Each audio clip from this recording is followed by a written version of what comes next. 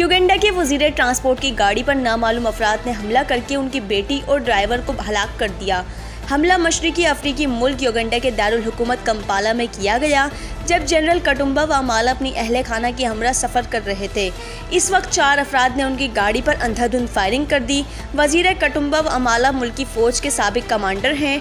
योगेंडा फ़ौज के तर्जुमान brigadier फ्लाइया bike वसू ने मीडिया को बताया है कि हमले में वज़ीर ट्रांसपोर्ट को एक गोली लगी है और उन्हें ज़ख्मी हालत में अस्पताल मुंतकिल किया गया, जहाँ उनकी हालत अब ख़तरे से बाहर है।